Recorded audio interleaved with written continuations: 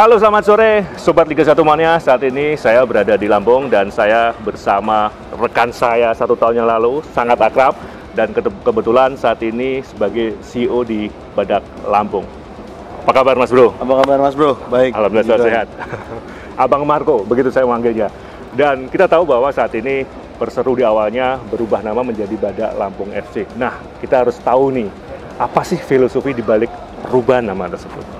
Siap, jadi memang eh, puji Ya. Tuhan eh, tahun ini Perseru eh, apa setelah proses yang cukup panjang Ya.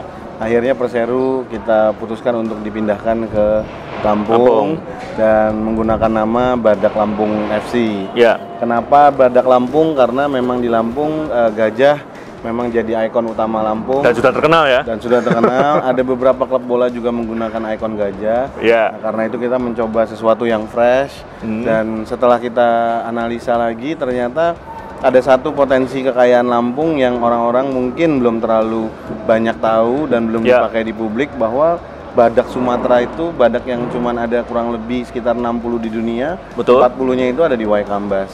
Nah, Hmm. jadi eh, dan setelah kita lihat eh, apa eh, bentuk tubuh dari badak Sumatera itu Ya. juga lebih atletis daripada betul lebih kokoh ya. badak-badak yang lain lebih lebih ringan apa lebih slim tetapi Yeah. beratnya tetap masih di atas satu Oke. ton. Nah, terus karakternya badak Lampung itu memang fighter tapi dia eh, jago komunikasi. Yeah. Nah, akhirnya kita pikir eh, wah ini cocok banget buat kita pakai untuk jadi eh, filosofi dasar Yeah. daripada klub kita ini. Ya, kalau saya mendengar tadi itu visi yang sangat bagus sekali artinya. Nah, sejauh ini seperti apa sih keseriusan manajemen terhadap Badak Lampung, apalagi ini di Lampung yang notabene disadari atau tidak nantinya akan menjadi ikon baru buat provinsi Lampung.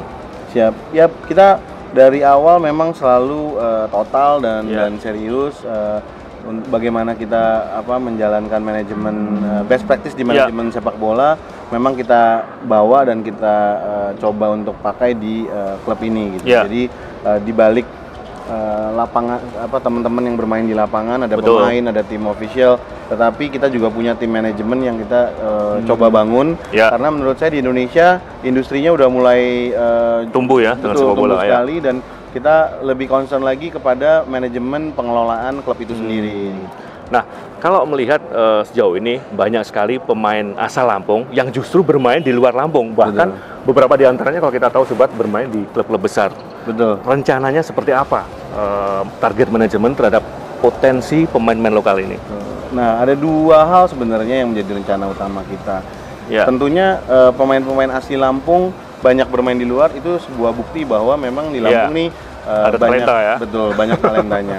Tetapi karena memang lama sekitar 17 tahun kita tidak ada klub di eh, kasta tertinggi, ya, Nah, akhirnya memang bukan hanya main di kasta tertinggi, tapi pembinaannya pun eh, walaupun banyak dilakukan terus selama 17 tahun Iya. ini, tapi mereka mungkin berpikir kita habis selesai dari sini mau ke mana Iya. gitu kan. Nah, langkah pertama adalah beberapa pemain-pemain asli Lampung memang kita coba dekati Hmm. Betul. untuk kembali bermain buat Lampung sebagai ikon kita. Tapi yang lebih penting adalah di yang langkah kedua, Hmm. ya kita mau ciptakan lebih banyak lagi talenta-talenta muda supaya nanti pemain-pemain besar itu lahir, mereka Hmm. juga bermain di Badak Lampung, tapi akhirnya bisa bermain di luar dan bisa bermain di tim nasional. ya.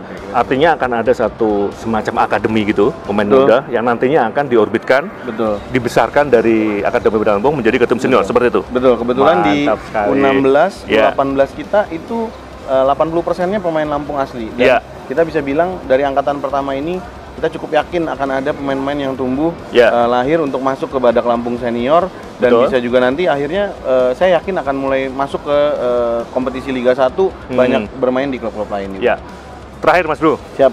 saya melihat dan saya melihat secara langsung bahwa banyak renovasi yang sudah dilakukan di stadion ini mulai dari tribun, kemudian media center, ruang meskom, eh, kemudian ruang wasit dan semuanya, bahkan eh, ruang medis.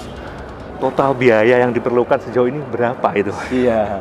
Jadi memang eh, pertama ini memang menjadi bagian Iya. dari komitmen kita, Mas Iya. Bro, untuk eh, apa memastikan kita main di Iya. Liga 1 eh, ada ada Iya. hal-hal yang harus kita apa penuhi. Iya. Tetapi lebih daripada itu kita memang pengen eh, menaikkan eh, level kita sehingga di Lampung ini orang benar-benar sadar bahwa wah Hmm. ternyata serius loh mereka sampai stadionnya aja dibetulin. Kalau untuk biaya yang pasti memang nggak nggak murah Ya, gitu ya cukuplah mungkin untuk bisa beli mobil-mobil mewah gitu ya. Tapi yang pasti saya nggak bisa sebutin berapa. Oke, terima kasih Mas Ya, Bro. Terima kasih Sukses juga. terus sukses. dan maju terus pada Lampung. Terima kasih sukses terus LIB. Siap.